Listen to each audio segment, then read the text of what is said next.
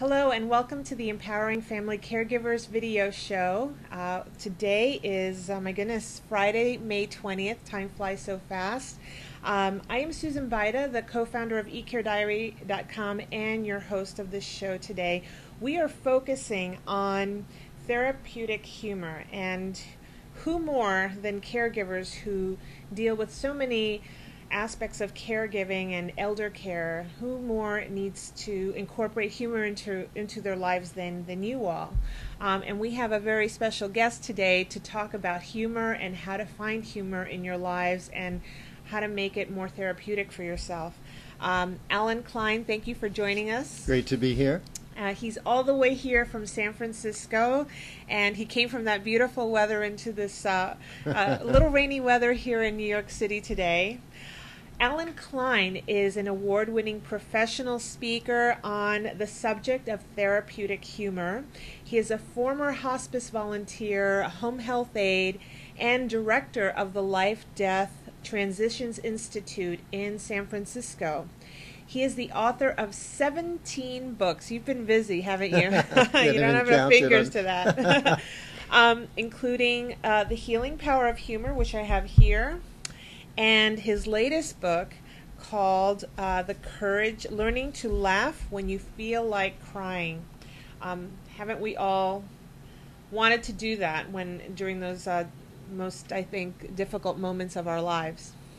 And uh, I think that um, you are so, uh, we're very honored to have you because we really need to find some humor. And I want to talk about all of that. And you can learn more about Allen Klein on his website, www.allenklein.com. You know what, Susan? I think you should spell that because Allen Sure. spelled about five ways and Klein is Okay, spelled about will five do. ways. So it's uh, Allen, A L L E N, K, Klein, K L E I N, A L L E N, K L E I N dot com. Got it. Thank you for that. Well, let's start by asking you. I, I want to ask you about your keynote speeches, and you teach workshops on how people can use humor to deal with very difficult situations. Um, how, how and when did you get motivated to do this? Well, it started over 30 years ago. People would say it was a tragic situation. Indeed, it was somewhat tragic. Uh, my wife got a terminal liver disease when she was 31 and she passed away at 34. And needless to say, it was a difficult time for us. And we had a 10 year old daughter when she passed. I have a 10 year old daughter. Yeah. Um, and it was a very difficult time. There was no hospice at the time. There was no liver transplants at the time. And it was like, how could I get on with my life? How can I live through this? You Right. know, it's like my life partner is gone. Right. So it was very sad, very upsetting times. But my wife Ellen always had a great sense of humor, uh, and I'll give you a, one idea of it. She had a copy of Playgirl magazine with the male nude centerfold. Uh, and she said, Ellen, I really like this uh, picture this month. Can you put it on the wall by the bed over here? And I said, Ellen, it's a hospital. It's a little risque for that. And she said, Well, maybe you're right. She said, Why don't you get a leaf from the plant and cover up that part? And I did that, Susan, and things are fine for the first day, fine Uh-huh. for the second day, but by the third day, the leaves start shriveling up, Oh my gosh. and we would look at the picture and we would start to laugh. That's And I realized looking back, that little bit of laughter, wasn't a lot, Yeah. but it helped us rise above the situation, gave us a different perspective, gave us a little reprieve from what we were going through. Yeah. So after she died, I, it was the time Norman Cousins was talking about humor and healing himself. And I thought, I remember that moment with Ellen, and I remembered how it, it really did help us Right. through. You know, it wasn't a lot of laughter, but it helped us get over that Yeah. just for a moment. And I thought, you know, humor is so important to help us cope in situations, and nobody talks about it in more serious uh, death and dying, serious illness. Most people don't talk about it. in Oh, fact, people yeah. feel guilty Right. talking about it. Yeah. And I thought this is a subject that nobody's explored. And I, I guess I honored her by going back to school, learning about humor, uh, start writing the books, and got a master's degree in human, H U M A N, development.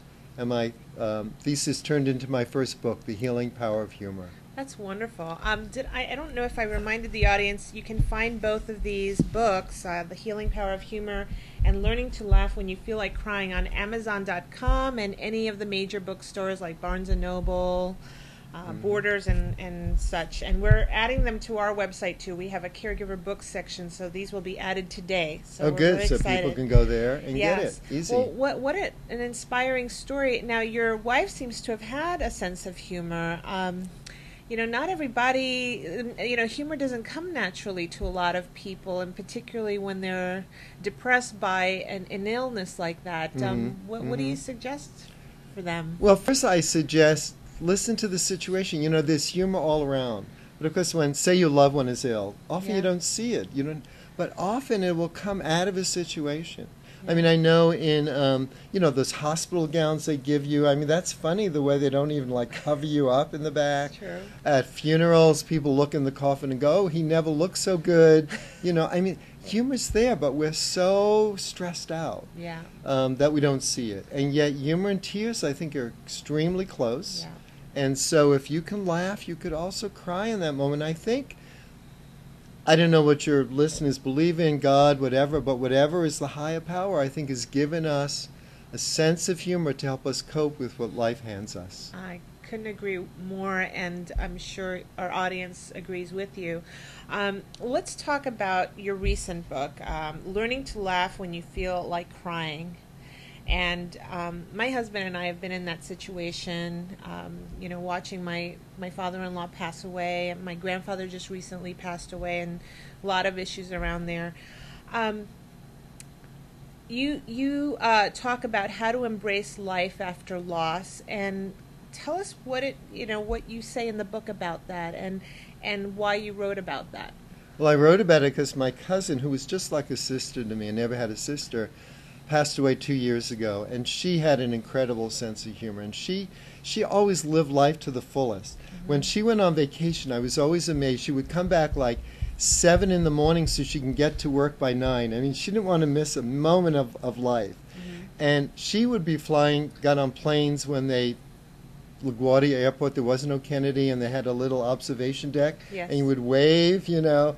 And I'd say, Bernice, how can you get on a plane? Aren't you afraid of crashing? And she said, no. And she said, but if it crashed, I want it to crash on my way home from the vacation, not before, because I don't want to miss the vacation.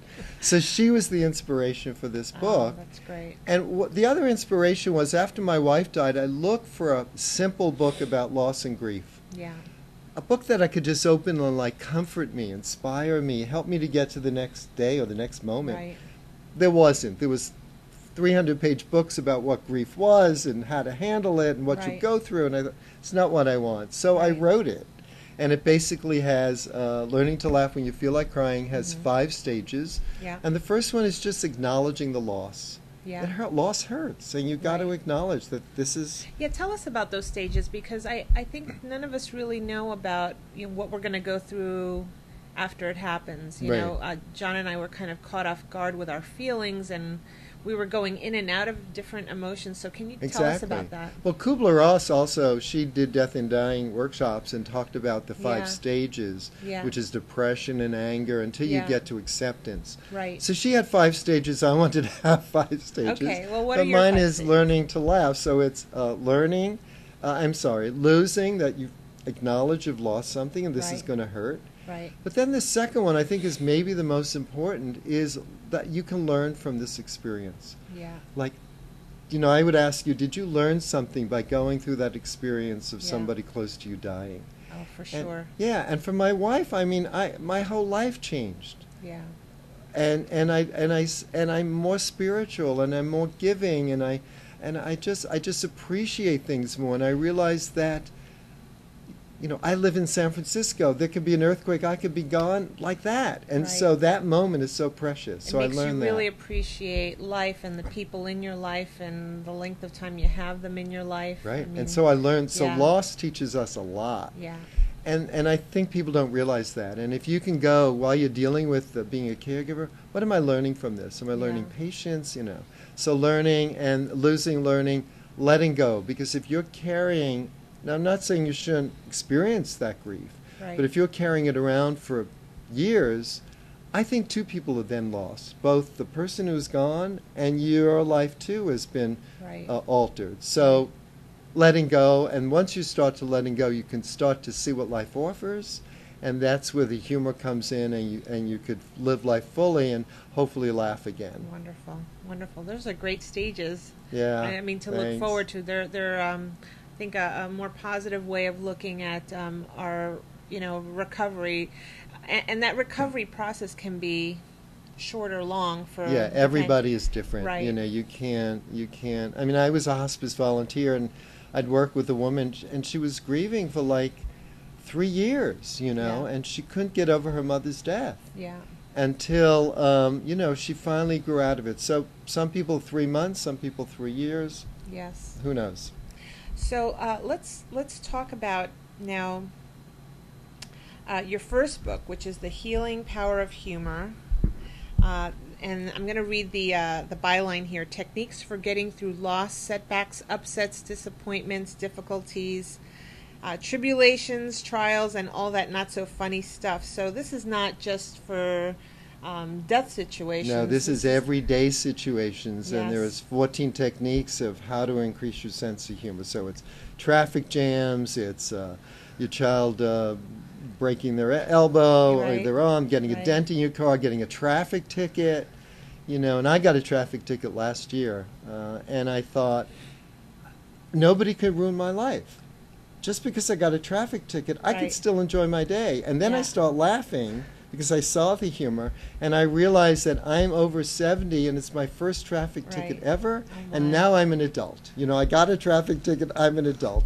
and that amused me and I started to laugh. So, yeah, that Healing Power of Humor has 14 techniques how to increase your sense of humor. Thank you so much. You know, I, I could use a sense of humor sometimes because I'm going through a pregnancy and I don't always feel very pleasant and I get angry very easily. I think it's because of my hormones. Visualize the two, you said you're having Yeah. twins, the two twins. I need to read this book All right. seriously. Thank you so much for this gift. Um, now, in your in your workshops and your keynote speeches, I think we only have a minute or two. Um, you go over the letters L A U G H, which spell laugh, and Yeah. what do those letters stand for? Okay, so the first one I already told you from the second, but the last Yeah. book, let go. Right. Let go. You have to let go. You can't. If you're angry, upset, frustrated, you can't find laughter Yes. in anything. A is attitude. Things are the way they are, and it's our attitude. I mean, Viktor Frankl talked about changing his attitude in a concentration camp, yeah. and he credits it in part with surviving. Yes. The U is Y O U. I cheated a little. Okay. Y O U. You need to go do it. You need to change your attitude. You need to let go. G is go do it, which has the 14 techniques how to do it. Great. And H is open your humor eyes and ears and look and listen for humor. It's all around. give you one example. I was in a laundromat and it said when the machine stops, remove all your clothing, Okay. which I did. Great. I love that. Allen Klein, thank you so much for joining Thank us you. today. This it's has been, been great. Way too short, but yes. great. Yes, and um, and please read his books. I think you're going to find laughter. I think uh, just by reading and turning the pages. And uh, thank you for joining us. Thank you to our audience for tuning in. And join us next week, Friday at two o'clock. Take care.